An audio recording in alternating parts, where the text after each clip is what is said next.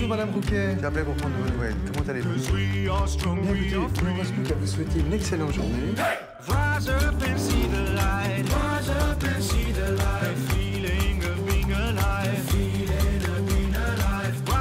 Le groupe Vive est un groupe mutualiste qui agit au quotidien pour la santé de plus de 11 millions de personnes. Groupe Vive, entrepreneur du mieux vivre.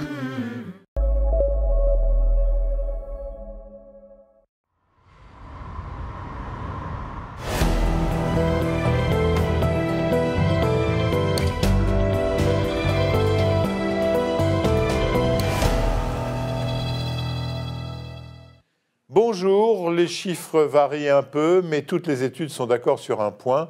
Les conséquences psychiatriques de la maladie Covid-19 vont être sérieusement à prendre en compte.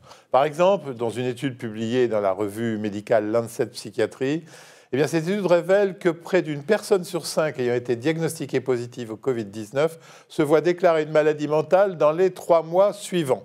Ça fait beaucoup. Alors nous avons voulu savoir s'il s'agissait de nouveaux cas ou d'aggravation de patients déjà diagnostiqués, avec deux psychiatres habitués de nos émissions, tous deux chefs de service. Professeur Antoine Pellissolo, bonjour. Bonjour. Vous êtes chef de service à Créteil. Professeur Amine Benyamina, bonjour. Bonjour.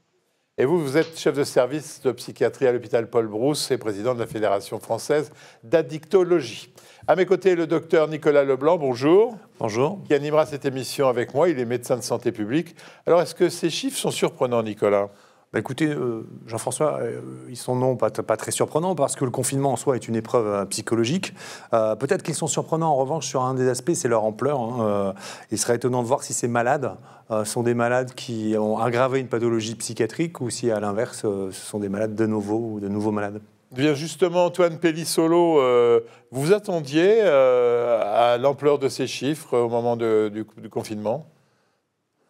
Oui, en tout cas, on en avait un constat quotidien, je dirais, euh, dans nos services de psychiatrie, dans les consultations, et puis dans la vie euh, de tous les jours, hein, auprès de nos, proches, les habitants, enfin les, différentes personnes qu'on rencontre. Euh, bon, il y, a évidemment une augmentation de, du, du, ras-le-bol, du stress, des choses tout à fait normales et explicables, mais il y a aussi, pour certains, et probablement les, les, les plus fragiles, une aggravation des états pathologiques, oui alors donc la majorité, c'est aggravation de gens qui avaient, été diagnostiqués avec des symptômes, pas des malades de novo.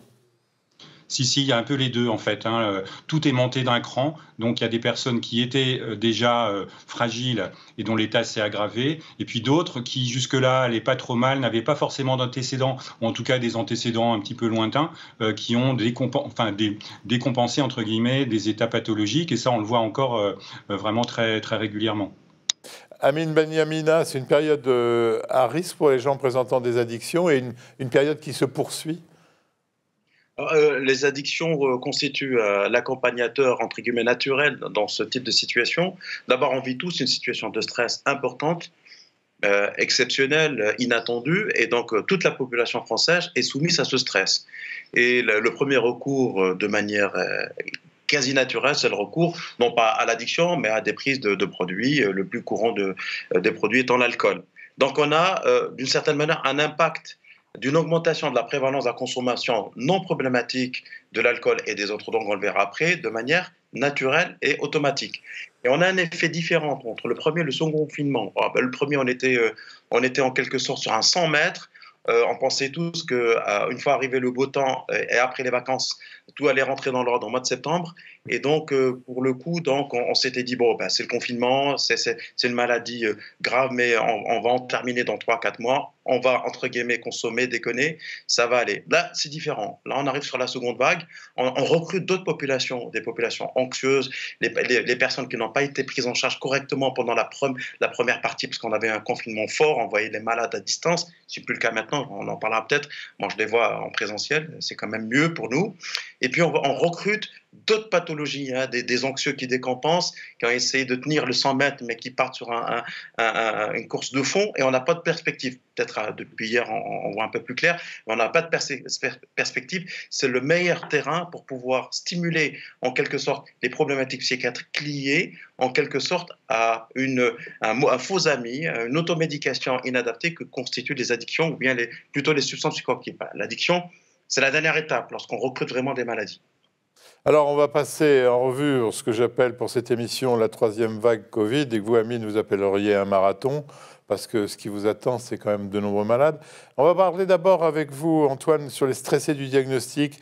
Est-ce que le fait d'avoir un jour appris le diagnostic de cette maladie, supposée mortelle, euh, et très médiatisé, ça peut être un choc délétère ah oui, alors c'était vraiment le cas au début, en tout cas de la première vague, parce que euh, de manière tout à fait euh, compréhensible, hein, les, personnes qui ont été contaminées au début, euh, c'était une maladie qu'on connaissait mal, dont on connaissait malheureusement le, pronostic négatif pour certains, avec des images effectivement assez choquante qu'on a tous vu à la télévision. Donc moi j'ai vu beaucoup de, de, personnes, euh, surtout celles qui se sentaient un peu plus vulnérables à partir d'un certain âge. Et un certain âge, ça pouvait être à 40, 50 ans. Hein. Euh, dès cet âge-là, des personnes qui pour la première fois de leur vie se sont dit bah, peut-être que dans une semaine je serai en réanimation ou je vais peut-être même pas m'en remettre. Donc évidemment c'est très très anxiogène. Je crois que maintenant on a un peu plus de recul et heureusement euh, on, on, est rassuré quand même sur l'évolution pour la plupart des personnes. Mais par contre, euh, ce diagnostic reste anxiogène pour les personnes qu'on va dire hypochondriaques ou qui sont anxieuses pour leur santé. Et moi, je vois encore beaucoup de, personnes qui, qui sont euh, un peu terrorisées encore de, sortir, qui, qui, ne quasiment sortent pas de chez eux depuis le mois de mars. Et donc, c'est une catégorie malheureusement d'anxieux qui sont euh, plus sensibles encore que les autres à ce risque sanitaire. Alors, l'Académie euh, de, médecine euh, fait, une session spéciale et rapporte que, au-delà de l'épisode infectieux, il y a 20% des, malades Covid qui auraient des, séquelles psychologiques. Euh, de quelle nature seraient-elles Des troubles anxieux chroniques? De, quoi parle-t-on précisément dans les séquelles psychologiques de la maladie Covid? Antoine? Euh, je crois que dans l'enquête en question, c'est vraiment des symptômes dépressifs qui, sont mesurés. Alors, on parle vraiment de symptômes, hein, pas forcément d'épisodes, parce que c'est un, syndrome dépressif, il faut vraiment euh, faire un entretien pour le diagnostiquer, mais euh, c'est au moins 20% de symptômes dépressifs, et souvent, effectivement, associés à des symptômes anxieux, de toute façon. Les, séquelles qu'on commence à voir, effectivement, c'est des tableaux un peu mixtes, d'anxiété quand même beaucoup, des éléments un peu post-traumatiques pour certains, ceux qui ont été vraiment très malades, ou ceux qui ont eu très peur, et puis des, une forme de découragement, de désespérance quand on a l'impression de ne pas pouvoir ressortir la tête de l'eau. Et puis les, symptômes que Amine Benyamina évoquait, qui sont évidemment les consommations de produits, qui sont souvent euh, une façon de, traiter sa propre anxiété de manière un petit peu euh, évidemment euh, anarchique.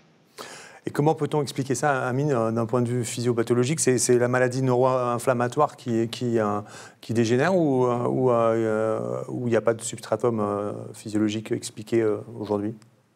L'environnement, comme l'a expliqué Antoine, évidemment. Euh, lorsqu'on part euh, au départ d'une grippette qui devient finalement une grippe qui tue, mais qui tue les vieux et qui tue les personnes vulnérables, mais qui finalement peut tuer des jeunes, puisque évidemment on a des gens de, qui ont 25-32 ans qui sont morts en réanimation, ce sont des messages qui constituent le lit d'un stress généralisé et donc qui se transforment en anxiété avec des symptômes dépressifs, évidemment. et clairement, euh, ce qui est intéressant depuis, depuis peu, c'est qu'on a les rescapés entre guillemets de la première vague avec des symptômes très étonnants et on essaie de voir s'il n'y a pas un lien avec euh, les théories neuro-inflammatoires que connaît bien euh, l'équipe de Créteil. J'ai eu l'occasion de discuter avec Marion Leboyer à la faveur d'une émission comme celle-là et donc elle nous avait expliqué qu'il y a probablement un, un substratum, mais il n'est pas le seul à expliquer ces tableaux. je pense qu'il nous faut du temps il faut être scientifique, il faut du recul pour voir un peu ce qui va surnager après la seconde, et j'espère que la dernière vague liée au confinement. Vous voyez, on a affaire à des éléments de cette nature. Et probablement, euh, et j'espère que non, mais probablement, on verra euh, des tableaux très typiques de type psychiatrique ou psychologique euh, qui sont des séquelles à la fois neurobiologiques et même environnementaux liés à, cette, à cette, vague ou cette, à, ce Covid. À la fois, il, y a, il, faut, distinguer deux choses parce que c'est un peu dans le, dans le même sac il y a toute l'ambiance liée à cette situation que, nous vivons dans cette période qui est extrêmement stressante pour tout le monde, et puis la spécificité liée, euh, euh, liée à cette pathologie, à la fois neuroinflammatoire, à la fois neurophysiologique, qu'on est en train de décrypter de petit à petit. Donc ce sont les, deux éléments euh, qui sont incriminés dans, cette, dans ce, volet psychiatrique de la Covid-19. Antoine, apparemment, donc vous travaillez sur effectivement les causes physiopathologiques.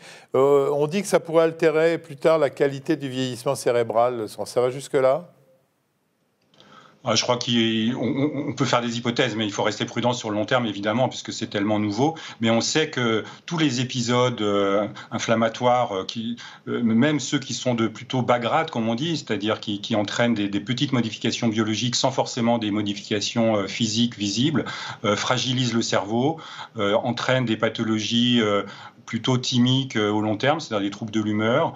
et l'accumulation de ces facteurs peut avoir des effets neuro enfin en tout cas euh, aggraver des facteurs de risque dégénératifs. Il faut être prudent quand même pour pas non plus euh, euh, déclencher des psychoses autour de ça, évidemment.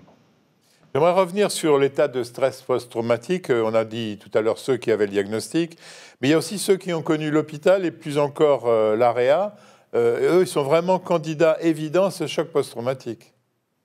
Antoine. Oui, parce que, parce que quand on parle vraiment notamment de syndrome post-traumatique, il faut, faut, avoir en tête que ça concerne des gens qui ont été confrontés avec un risque de mort immédiat en général et euh, très brutal. donc c'est ce qui peut se passer en réanimation. Il y a l'annonce de la maladie, mais il y a ensuite, euh, par exemple, l'annonce de l'intubation quand ça s'est fait vraiment de manière évidemment souvent précipitée. Et puis les symptômes de la maladie, euh, moi je vois beaucoup de patients qui ont, qui ont vécu ça avec la sensation d'étouffement, hein, qui est vraiment souvent a été très forte euh, euh, liée aux troubles respiratoires. Et cette sensation d'étouffement, évidemment, elle s'accompagne souvent d'une impression de mort imminente. Et c'est ça qui va euh, marquer la mémoire émotionnelle et donc donner des signes de détresse émotionnelle durable. Et c'est ça le syndrome de stress post-traumatique, c'est la reviviscence de l'impression de mort imminente. Et alors, Benjamin, comment y a-t-il des, mesures pour prévenir justement ces décompensations post-traumatiques? Ben, C'est très compliqué. Oui, ben, je comprends bien. On est en train de gérer une situation insolite. On n'a pas affaire à un attentat, on n'a pas affaire à des gens qui ont été victimes de viol ou des choses de cette nature qui constituent en quelque sorte souvent l'étiologie des états de stress post-traumatique. Il y a un sentiment, comme le disait Antoine, d'une mort imminente, d'une effraction dans un psyché qui jusqu'à présent était normal. Et euh, la réviviscence, la peur, les angoisses constituent une manière inefficace d'évacuer la, sensation de perdre la vie euh, en direct. Et là, c'est autre chose. Euh, là, c'est autre chose. Ce qui se passe souvent, j'ai eu l'occasion d'en interroger quelques-uns qui revenaient, qui revenaient de, coma artificiel, c'est bon, euh, j'ai le sentiment d'étouffer, puis plus rien, blackout. Évidemment, c'est l'amnésie euh, totale. Et puis après, ils reviennent à eux. Alors, je pense qu'on ne peut pas anticiper les choses, puisqu'on est dans l'urgence. En revanche, il faut qu'on mette en place, et pour cela, j'en parle un peu, il nous faut des moyens. Forcément, il nous faut des moyens. Il faut qu'on travaille sur des recommandations, des guides euh, pour euh, toutes ces populations qui vont arriver dans six mois, un an. Ils seront dans notre consultation. Il faut qu'on arrive à s'accorder comme l'ont fait les réanimateurs sur le traitement récemment, il est plus coordonné que le folklore qu'on a eu au cours de la première vague, pour pouvoir gérer ces personnes. Euh, prévenir, c'est compliqué, mais accompagner, on a la possibilité probablement de le faire. Mais à vous nous dites que c'est à six mois. Les décompensations, elles seront plutôt à six mois? Je dis six mois, c'est parce que c'est en général, peut-être moins, c'est en général euh, un repère classique que l'on donne dans les états de stress post-traumatique, parce que c'est une pathologie chronique, c'est pas un état de stress aigu. Euh, il s'installe avec des symptômes et on y travaille. Et je pense que très clairement, euh, d'ailleurs, c'est pas tout à fait un état de stress post-traumatique. C'est quand même un tableau bâtard que l'on voit. Hein. Il y a de l'anxiété, il y a la dépression ou des signes dépressifs.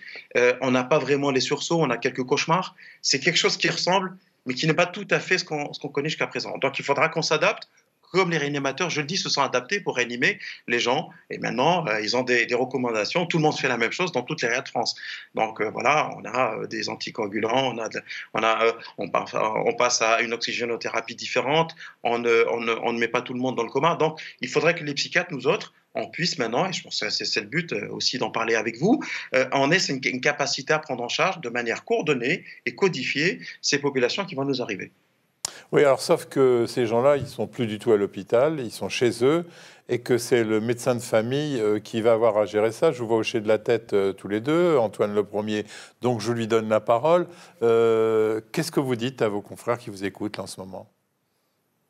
Alors c'est vraiment là, le signe, enfin la bonne illustration de l'intérêt d'un travail en continuité entre notamment la ville et l'hôpital, dont l'intérêt, donc l'intérêt des, des, des, réseaux et des possibilités vraiment d'avoir des points de rencontre et des points d'échange. en effet, les patients qui sont passés par l'hôpital et notamment l'ARIA, je pense qu'ils sont assez bien tracés. ils vont être appelés, on va essayer d'être vigilants. ceux qui ne sont pas forcément passés longtemps à l'hôpital, ils sont en effet suivis en ville et, puis parfois pas suivis de, très près parce que les médecins généralistes peuvent pas avoir tout le monde euh, très souvent et donc il va falloir être vigilant pour avoir quelques signes d'alerte. Euh, par exemple, les patients qui consultent un petit peu trop souvent pour euh, peut-être des choses qui paraissent pas forcément évidentes au plan, au plan physique, leur poser des questions systématiquement. il existe des, petites grilles qu'on peut utiliser un peu comme des, supports de dépistage en posant les questions systématiquement aux, patients. Et ça, en effet, sur le long terme, parce que le plus souvent, ça, se manifeste assez tôt après la maladie, après euh, en tout cas l'infection, mais ça peut être plus tardif. Donc il faut être vigilant sur euh, encore les mois qui viennent. Alors ça, en plus du fait que, évidemment, le contexte social à venir, et, sans être trop pessimiste, on peut penser qu'il va, qu'il va se dégrader encore, va évidemment alourdir euh, euh, le poids des, facteurs de stress et de, et, de dépression, d'inquiétude. Donc tout ça, ça, va se mélanger. Je pense qu'il faut que de manière collective, en effet, les différents professionnels de santé, d'ailleurs, ce n'est pas que les médecins, euh, les infirmiers, peut-être même les pharmaciens, enfin des gens qui sont en contact de la population, puissent faire de l'information et un peu de repérage. Donc c'est rechercher systématiquement une histoire Covid chez tous les patients euh, qui n'en parlent pas forcément parce qu'il peut y avoir un certain déni, Amine, là-dessus? Absolument. A, oh, le déni, alors, ce n'est pas un déni comme étant un mécanisme de, défense inadapté ou bien euh, pas du tout efficace. C'est vraiment des gens qui ont été malades et qui bon, sont contents de pouvoir respirer normalement, de faire leurs courses, de marcher, d'aller bosser, mais qui traînent une petite insomnie, une irritabilité, ils sont plus comme avant, euh, ils n'ont pas, ils n'ont pas l'agnac, ils s'écoutent, ils sont pas bien, euh, l'entourage se rend compte à la fois familial et professionnel qu'évidemment ce sont des personnes qui ont eu la, Covid et donc on se, on, se rive, on se concentre sur les symptômes somatiques forcément, c'est ce qui a, ce qui a fait qu'on a eu peur pour eux, peur pour soi. On, oublie les symptômes psychologiques et psychiatriques, voilà. Et donc euh, que les choses soient claires, on a affaire à des pathologies qui vont s'installer, qui ont besoin de soins. C'est pas simplement un moment d'humeur, un blues ou bien oh j'ai vécu des choses difficiles. Non, ils ont besoin d'une intervention, pas forcément médicamenteuse. S'il le faut, euh, on prescrira, mais ils ont besoin d'un soutien et qu'on leur explique ce qui se passe et qu'est-ce qui s'est passé au cours de cette période au cours de laquelle ils ont cru mourir. Donc là, c'est important de le faire dans ce sens. Bon, nos confrères qui nous écoutent auront bien compris que c'est une nouvelle, une nouvelle maladie, une nouvelle chose à prendre en compte. J'aimerais bien qu'on s'arrête euh, avec vous deux sur euh, une catégorie particulière et qui vous touche de près, qu'on appelle les soignants. Euh, ils sont en première ligne face à la pandémie, ils sont reconnus à risque de présenter des troubles psychiques, euh, en particulier les troubles anxio-dépressifs et, là aussi des états, des de stress euh, traumatiques. Antoine, c'est ce que vous avez constaté? Ah oui, alors vraiment beaucoup lors de la première période, c'est sûr, parce que c'était d'une violence quand même inédite, avec à la fois euh, une confrontation vraiment avec euh, des situations humaines euh, très très dramatiques souvent. Le, stress post-traumatique, on peut là aussi l'avoir par procuration, comme on dit, c'est-à-dire en voyant des gens mourir ou sur des, dans des situations de, de, proximité avec la mort. et puis en plus de ça, une charge de travail qui les a épuisés. Donc quand vous êtes à la fois stressé et fatigué, ça donne évidemment des conséquences psychiques complexes. Et pourtant, hein, ils ont fait face hein, de manière extrêmement euh, courageuse et déterminée. il faut vraiment, on l'a dit et redit, mais saluer leur engagement parce que c'était en plus dans des conditions d'insécurité. Hein. Euh, on l'a dit aussi, euh, pas bien protégés, donc avec la peur de tomber malade eux-mêmes, de contaminer leurs proches. Il y avait souvent ça. Alors depuis, au cours de l'année, certains s'en sont remis, mais pas complètement, et de manière très très lente. Certains se sont pas remis du tout. Ils sont même partis pour certains. Et puis ils se sont repris évidemment la deuxième vague, peut-être moins violemment que la première parce qu'un peu plus préparé, mais quand même euh, à nouveau euh, sous tension extrême et, euh, fatigué. Donc c'est vrai que c'est une, population, enfin un groupe de, soignants spécifiquement à accompagner, que ce soit les médecins, les aides-soignants, les infirmiers évidemment. Bah, je suppose que donc les, psychiatres des hôpitaux euh, se sont mis au boulot et, accompagnent ces gens-là. Euh, on dit qu'il y a moins de motivation, moins de volontariat euh, sur la deuxième, la deuxième vague. On peut le comprendre, Amine? Il y a une fatigue, il y a un agacement. D'ailleurs, on le voit, l'agacement lorsque les, soignants maintenant, ils disent on n'a pas besoin d'être applaudi, on a besoin d'être soutenu, d'être aidé, d'avoir des moyens. Donc c'est déjà un agacement. Il y a une fatigue physique, une fatigue morale qui s'est installée. Beaucoup n'ont pas tous pris leurs vacances pendant l'été parce qu'il fallait rattraper un certain nombre de, de, patients qui étaient en attente. Et donc on arrive à une seconde vague qui est une vague importante, euh, qui est une qui n'est pas un coup, mais qui, qui, qui, se maintient en plateau depuis, depuis quelques temps. Et on voit très clairement, moi je vois euh, dans mon service des collègues, des jeunes collègues, euh, notamment qui travaillent dans les urgences, dans les, dans les services d'anesthésie, de réanimation, qui viennent et, et que j'arrête, qui me disent j'en peux plus, je suis en burn-out. évidemment, c'est le terme facile fourre-tout un peu valoche qui permet de dire j'en peux plus. Euh, bon. Très souvent, euh, le fait de les arrêter 10-15 jours sans traitement, sans traitement leur permet de souffler. On a vu, j'ai vu arriver dans mon bureau euh, des jeunes collègues qui ne se sont pas arrêtés 5 jours d'affilée, qui dorment à l'hôpital et qui tournent à 3 parce qu'il y a des collègues qui sont contaminés, qui partent, qui reviennent très vite. Vous savez que la période d'éviction a été écourtée pour des raisons pratiques. On sait maintenant qu'on est moins, on est contagieux deux jours avant et on va été cinq jours après. Et clairement, on a euh, appliqué à la lettre euh, pour les soignants pour éviter que les hôpitaux ne restent vides et que, les Français ne soient, pas soignés. Le grand enjeu, ça sera vraiment la, protection et l'entretien du personnel soignant. Et là, on est en plein dedans. Je pense que là, il faut l'avoir en tête. Et les populations sont très concernées. C'est les populations essentiellement à l'hôpital et aussi en ville parfois. Alors Antoine, euh, qu'est-ce qui est mis en route pour pouvoir faire face à ça? Parce qu'on est en plein milieu de la deuxième vague, après il va y avoir, euh, espérons-le, la vaccination. S'il n'y a pas la vaccination tout de suite, il y a peut-être un risque de troisième vague. Donc euh, ce sont des dispositifs qui doivent être installés. Qu'est-ce qu'il y a aujourd'hui d'installé et qu'est-ce que vous préconisez d'installer pour les, les hospitaliers et aussi pour les libéraux? Alors oui, je, pourrais plus facilement parler pour l'hôpital que je connais mieux, mais euh, le, besoin, c'est vraiment, moi je dirais, des, espaces de parole déjà dans un premier temps, parce que euh, il faut débriefer, comme on dit, après des catastrophes. c'est un peu la même chose. Il faut pouvoir s'exprimer, euh, exprimer ce qu'on a ressenti, dire les problèmes qu'on a rencontrés, être écouté. Malheureusement, on n'a jamais le temps de le faire à l'hôpital dans de bonnes conditions. Les personnes ont, sont prises par leur travail, sont pas disponibles, et puis on manque de personnel, ne serait-ce que d'encadrement. Euh, ça, c'est le travail normalement des cadres de proximité, des cadres de santé qui sont là pour accompagner les équipes, et euh, de fait, euh, ils sont eux-mêmes débordés, sous pression, et ils craquent aussi. Donc, bon, voilà, c'est un, un, challenge, et on essaye de le faire de manière collective. bon, les, les directions en ont pris conscience, je dirais, un peu tard, mais c'est quand même un objectif majeur.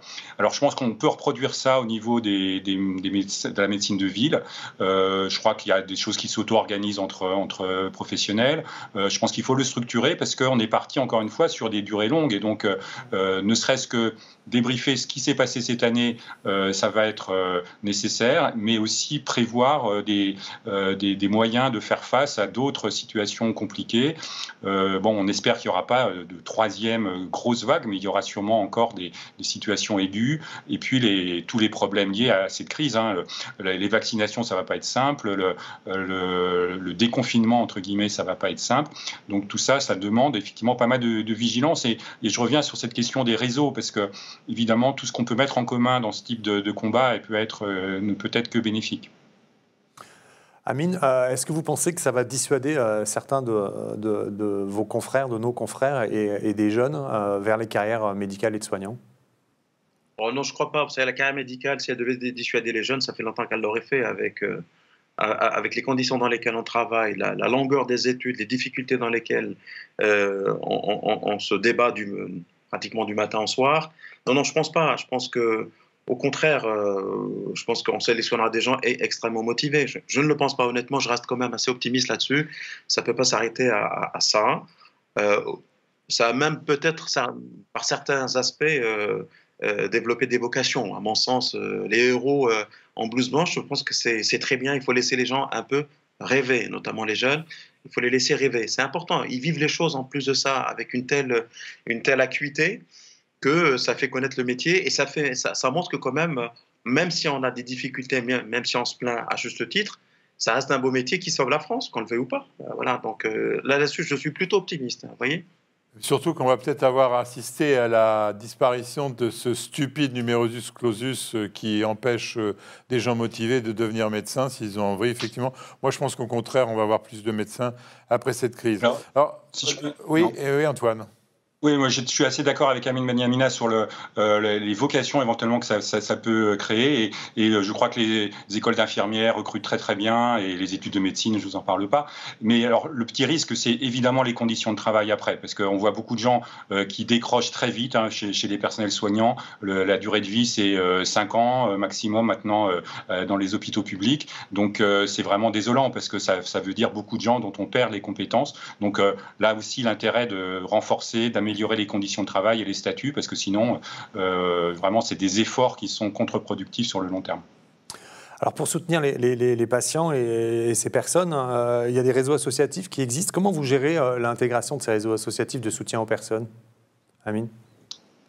Eh ben, On les gère assez simplement. Nous, bon, je, je, suis aussi président de euh, de, de fonction addiction avec euh, le site addicted.fr dans lequel on a des onglets, on permet aux gens de, s'exprimer dans les forums et on a mis en place une, vague, une, page Covid. On a les, les, pères aidants, euh, on, est en contact assez simplement, assez facilement, dans le cadre de, évidemment du sujet très précis que constituent les addictions. Et là, pour le coup, ce type de, supports sont extrêmement intéressants. Mais il n'y a pas que ça.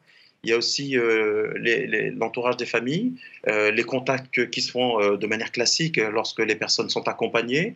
dans mon service, moi, systématiquement, je demande aux internes et aux chefs d'inviter et, de, convoquer et, de discuter avec l'entourage. Je pense que c'est extrêmement important.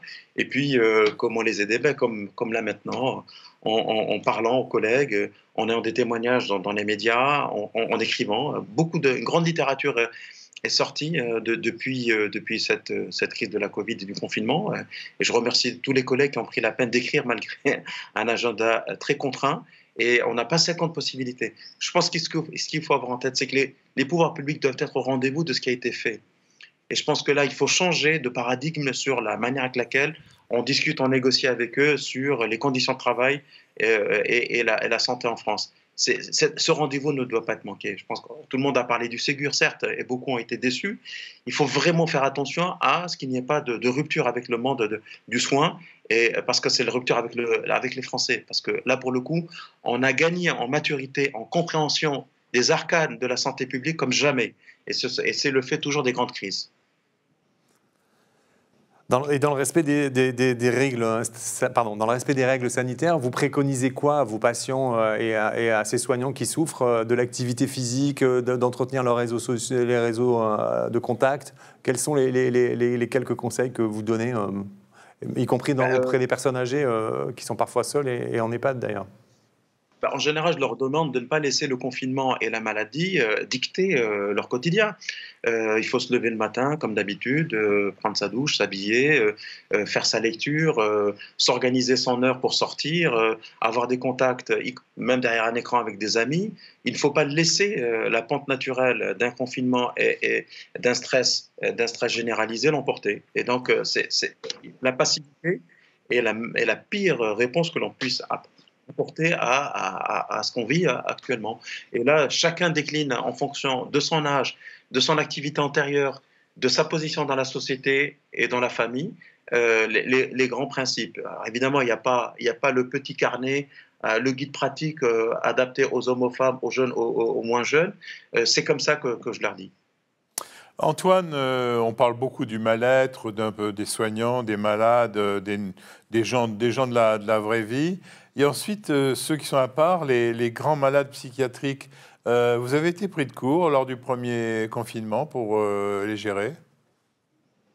Oui, forcément. Hein, euh, ça s'est fait vraiment très très vite.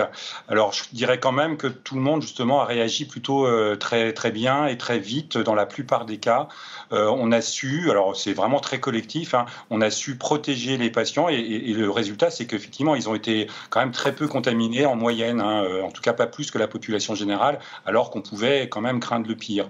Donc, on a pu à la fois prendre en charge les patients les plus lourds, notamment ceux qui sont, qui étaient ou qui ont été hospitalisés à cette période Et puis surtout, la grande inquiétude, c'était pour ceux qui étaient chez eux, souvent isolés, tout seuls, et pour lesquels il a fallu maintenir un lien de soins quand même à distance. Donc ça, ça a été le plus compliqué. Mais je crois que dans l'ensemble, lors de la première période, et puis on a essayé ensuite de rattraper ce qui n'avait pas pu être fait au départ, la, prise en charge a connu une vraie continuité. Alors je ne vous cache pas qu'il y a quand même eu des, collègues dans des hôpitaux un peu, je dirais, un peu délaissés à cause de, des problèmes d'éloignement des, des, centres hospitaliers ou des, euh, malheureusement d'un mauvais accompagnement euh, en, partie par, euh, par les tutelles dans certains cas, ont été quand même très chahutés et, ont dû être aidés vraiment. Il y a eu pas mal de solidarité entre, entre les différents services et je pense que finalement cette épreuve a été plutôt bien traversée par la psychiatrie.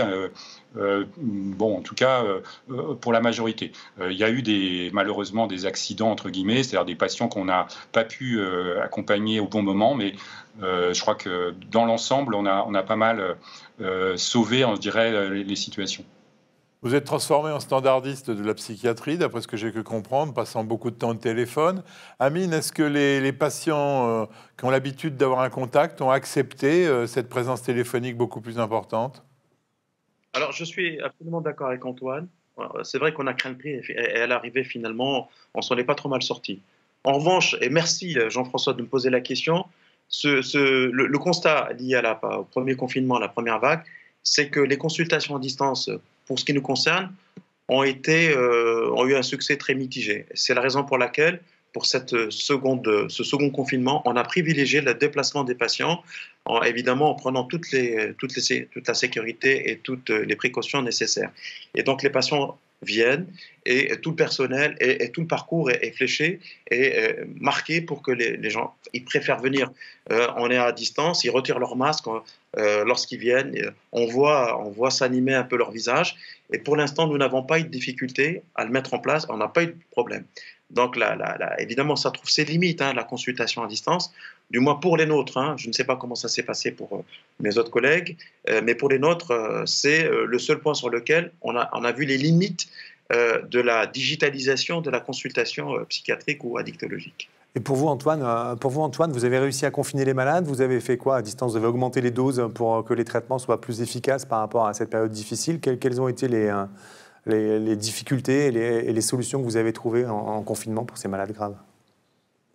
Alors les, les, personnes, enfin les patients qui étaient chez eux, à leur domicile, on a effectivement beaucoup utilisé le téléphone parce qu'il euh, n'y avait pas trop de choix.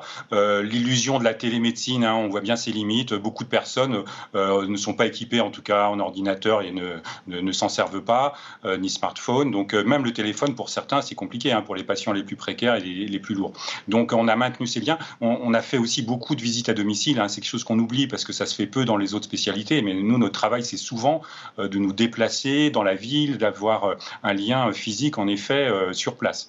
un peu comme les autres soignants, enfin, notamment les infirmiers qui se déplacent, les médecins généralistes qui se déplacent, mais c'est vraiment, ça fait partie du travail de, de, communauté, enfin de soins communautaires en, psychiatrie. Alors la protection, de manière assez un peu paradoxale, les, patients psychiatriques ont plutôt bien supporté en général de ne pas bouger de chez eux parce que malheureusement c'est un des, effets secondaires souvent des troubles un peu déficitaires comme on dit. Ils s'en portent pas plus mal, en tout cas au, début. Et euh, en général, on a plutôt besoin de les stimuler hein, pour qu'ils sortent de chez eux. Donc ça, ça n'a pas été un vrai souci. Les mesures barrières, euh, bon, il a fallu faire beaucoup d'éducation, euh, comme pour tout le monde, mais peut-être un petit peu plus, parce que c'est pas naturel pour certains. et puis, finalement, euh, on n'a pas eu de gros problèmes sur la pathologie quand on pouvait continuer à suivre les patients. Et pas forcément d'augmenter les doses, hein, il n'y avait pas, vraiment besoin. Par contre, de vérifier qu'ils prenaient bien leur traitement. Les problèmes qu'on a eus, c'est pour les patients qui ont arrêté leur traitement parce qu'ils n'avaient plus d'ordonnance, parce qu'ils n'étaient pas motivés, qu'il n'y avait pas quelqu'un derrière pour les, pour les relancer. Donc ça a été plutôt ça. Les, accidents qu'on a vus, c'est des ruptures de soins qu'on a vu réémerger au bout d'un ou deux mois, puisque un patient schizophrène qui arrête ses, ses antipsychotiques, il rechute dans les deux ou trois mois euh, euh, quasiment systématiquement. Il n'y a pas eu trop de drames particuliers. La presse, euh, qui en est très friande, n'a pas n'a pas fait ses une là-dessus, donc on peut supposer qu'il n'y en a eu pas tant que ça. On va terminer en passant par les addictions. votre spécialité, Amine Benyamina. Alors, il faut faire la distinction entre les drogues légales et les drogues illégales. L'alcool, par exemple. Alors j'ai appris que l'alcool était un, produit de première nécessité indispensable, hein, puisque on n'a pas fermé les cavistes, qui d'ailleurs en discutant, me disent qu'ils n'ont jamais autant travaillé de leur vie. Donc euh, c'est bien d'avoir décidé d'avoir laissé l'accès facile euh, au magasin de boissons, Amine? On a, écoutez, euh, je vais vous étonner. la Fédération française d'addictologie, au, cours du premier confinement, a adressé un communiqué parce que un, préfet en, région avait, euh, avait ordonné de fermer les, cavistes et les, débits, de boissons. Donc on, leur a dit non, c'est pas une bonne idée parce que vous allez précipiter un certain nombre de, Français dans des syndromes de sauvage sans soins. Donc, euh, et pour autant, ça ne veut pas dire on a incité les personnes à consommer. Euh, voilà. Hier, j'étais dans une thèse, Jean-François, puisque vous me posez la question, et je vais être un peu provocateur, une thèse dans laquelle on analysait les états de stress post-traumatique euh, euh, après 54 mois de suivi de 133 personnes qui étaient à l'intérieur du Bataclan. Et on s'est rendu compte que dans la partie euh, consommation alcool et état stress post-traumatique, ceux qui avaient consommé de l'alcool dans la, avant et dans la semaine qui a suivi avaient un état de stress post-traumatique qui était moindre. Donc c'est un faux ami, mais il avait amorti un certain nombre de choses. je ne dis pas qu'il faut consommer, mais pour vous dire. Donc, Amine, on ferme les cabinets, on ferme les cabinets de médecins et on rouvre les bars. Voilà, il fallait pas que je dise ça à Jean-François Lemoyne, non, c'est pas ce que je dis, mais pour vous dire que la, gestion de la consommation d'alcool se fait dans un cadre qui est un cadre cohérent. Alors là, c'était voilà. Euh, en revanche, ce qui est sûr, c'est qu'on a, on a explosé le binge, c'est-à-dire les consommations euh, intensives, on a explosé les, les, les apéros Zoom, les apéros Skype, comme vous le savez.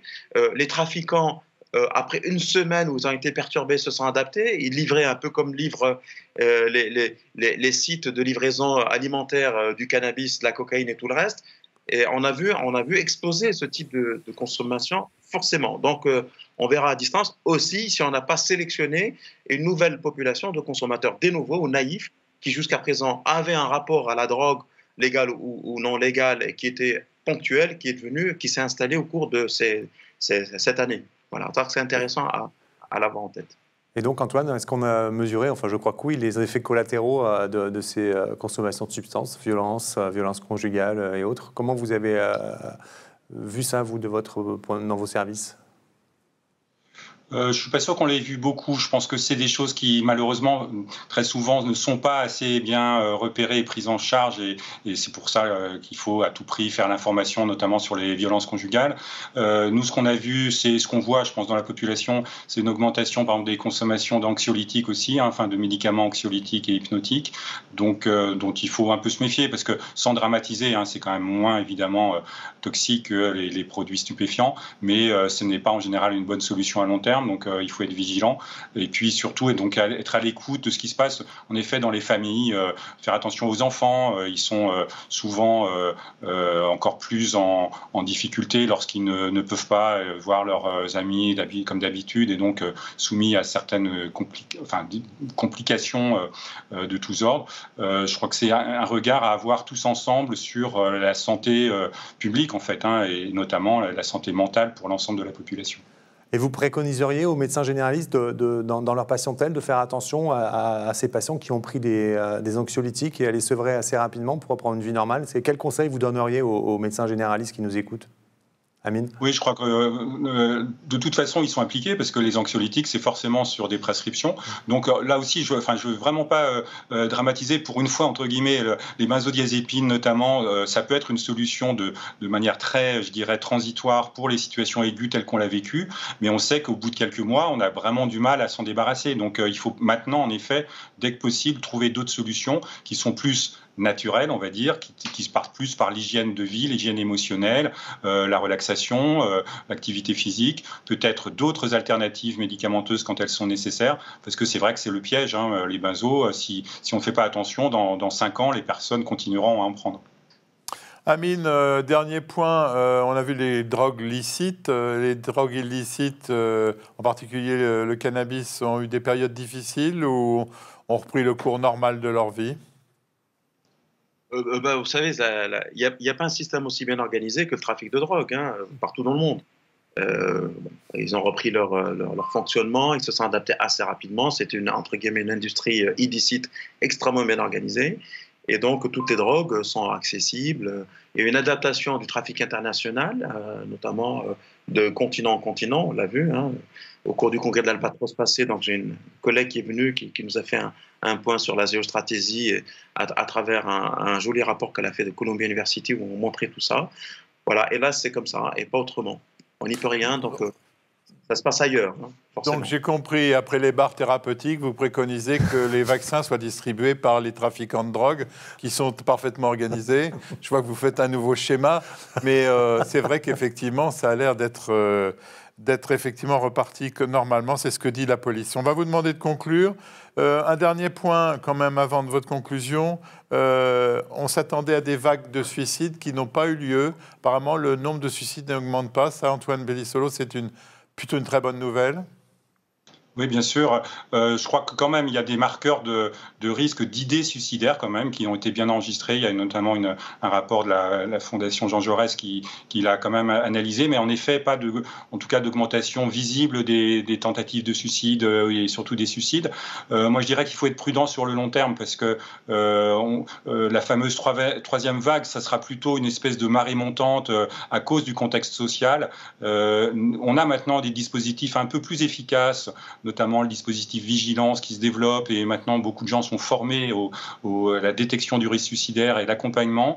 Et donc on fait des progrès. Je crois que c'est quand même une réalité en France depuis quelques années. Il y a une diminution du nombre de suicides, pas suffisante, mais qui, semble dans la bonne direction. Donc euh, il va falloir continuer dans, cette, euh, dans ce travail effectivement de, fond parce que malheureusement c'est le risque principal de, des maladies psychiques. Hein. C'est des maladies létales, mortelles dans certains cas.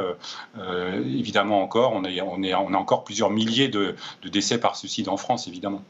Alors, euh, cette émission est terminée. On va vous demander chacun de conclure de façon assez brève, euh, si possible. Et on commence par vous, professeur Benyamina. Merci Jean-François pour cette invitation. Je pense que votre émission est une émission de salubrité publique, en quelque sorte, et tant mieux.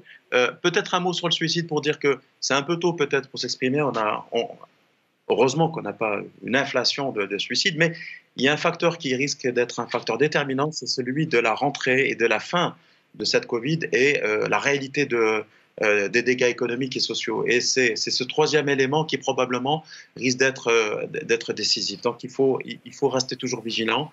Il faut se donner les moyens d'avoir une observation tout à fait fine de notre population. Ça, c'est important.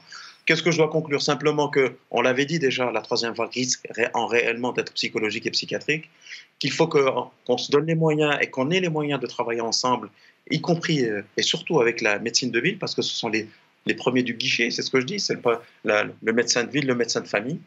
Euh, promouvoir euh, les plateformes pour pouvoir diffuser de l'information simple pour que chacun se rende compte et, se dépiste lui-même et vienne demander de l'aide lorsqu'il est, dépassé. Et espérer que la vaccination peut avoir un effet réverse parce que euh, c'est un peu comme l'économie qui a commencé à repartir à, à l'approche de l'été. Lorsqu'on est au fond du trou, on peut se donner un joli coup pour remonter. Donc espérant que pour la partie psychiatrique, ce sera le cas.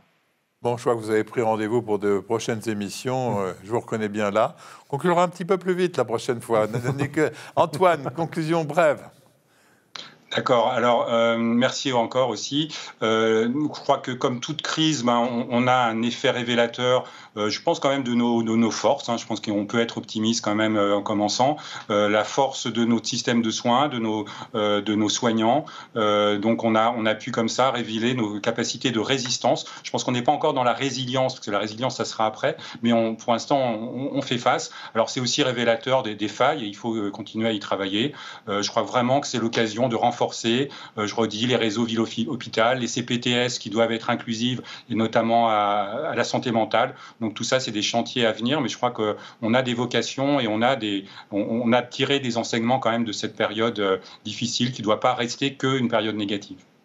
Merci à vous deux, vous êtes brillants comme d'habitude. Euh, c'est toujours un plaisir de vous avoir comme invité dans cette émission.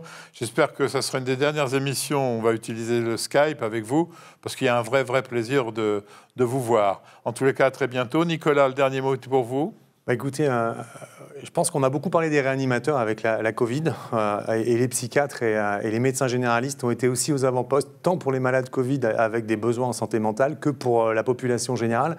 Et on a vu aujourd'hui que ça n'allait pas s'améliorer, et donc que c'est une spécialité et, qui va être au, devant de la scène, en tout cas, qui sera très très utile pour, pour ben, pour les médecins généralistes et puis pour l'ensemble de la population euh, dans les, dans les mois et années qui viennent, parce qu'on n'est pas sorti encore des, effets de cette crise hein, Covid.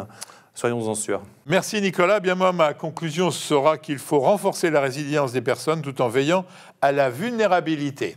Cette émission est terminée. Euh, on se retrouve, Nicolas, dans un mois pour un nouvel exemplaire de cette émission en collaboration avec le groupe Vive. Il faut signaler que son aide, puisque sinon cette émission n'existerait pas. On se retrouve donc dans un mois. En attendant, portez-vous bien.